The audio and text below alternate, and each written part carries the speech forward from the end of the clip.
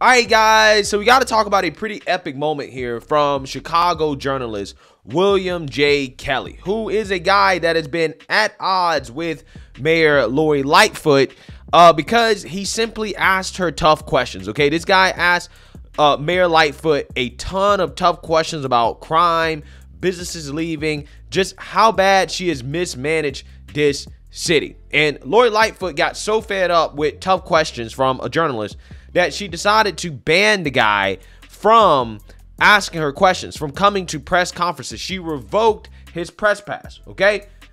Just because he asked tough questions to her. And recently, uh, Lori Lightfoot lost uh, re-election. Okay, uh, she's on the way out, and now this guy is getting his revenge. And I can't tell you guys how much I am so happy. I am so happy to hear him tell Lori Lightfoot to get the hell out of town. This is an absolute epic moment. So let's get into it. Reminder, please remember that all speakers must sign up to speak, and speakers cannot yield or transfer their time to another speaker. Thank you. Our next speaker is William Kelly.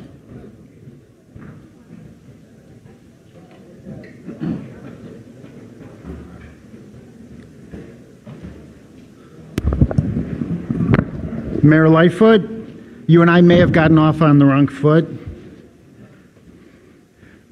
Reporter, uh, WilliamJKelly.com. I'm a veteran reporter in the city of Chicago, Emmy Award winning TV host, radio, print journalism. I should be sitting over there with my colleagues, but I'm, I'm standing over here because on a weekly basis I was going viral asking you obvious questions.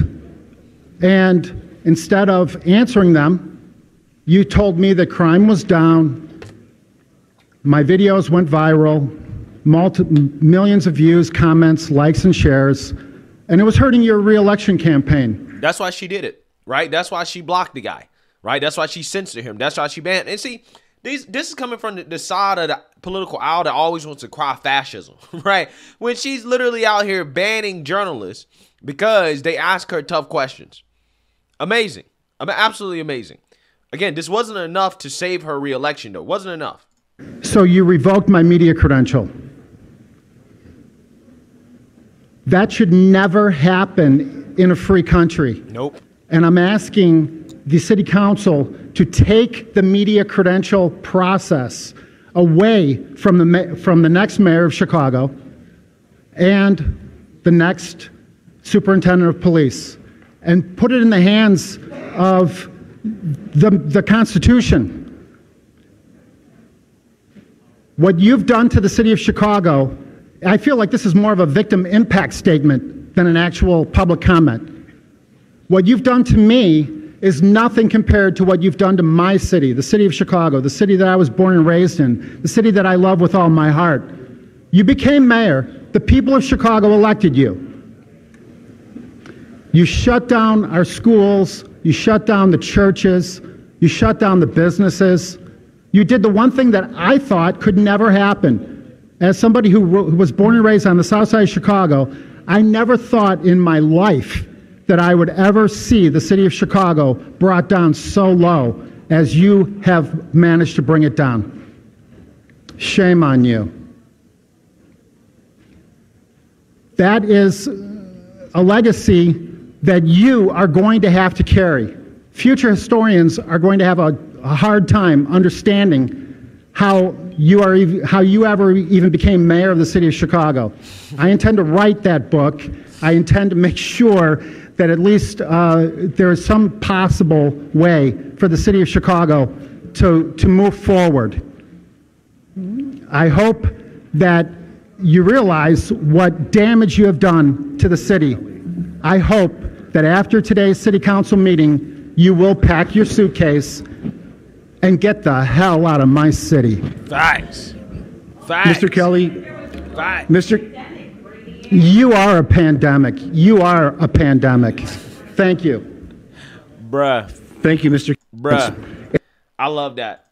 Again, I've covered his story so many times on my channel, right? I've probably done at least seven, eight, nine videos on this back and forth between this journalist and Lori Lightfoot, right? And despite Lori Lightfoot again acting like a fascist, right? Banning this journalist because he's asking her tough questions. She still lost. And I love to see him get his revenge on her uh, by basically coming to a city council meeting after she lost and telling her to get the hell out because, again, the Chicago citizens rejected her.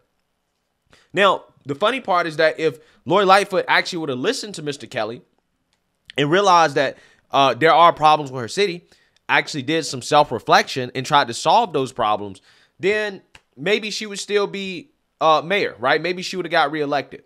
But because she refused to listen to journalists and reporters like William Kelly, she wanted to listen to the ass kissers because she believes she has the biggest penis in Chicago. Um, this is what happens. Okay? This is what happens when you're unable to self reflect, when you're unable to acknowledge that, hey, I have problems.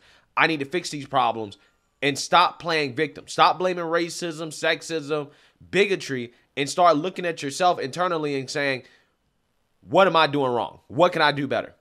The only thing William J. Kelly was doing was pointing out to her, hey, you can do better. This is where we have issues. This is where you can do better.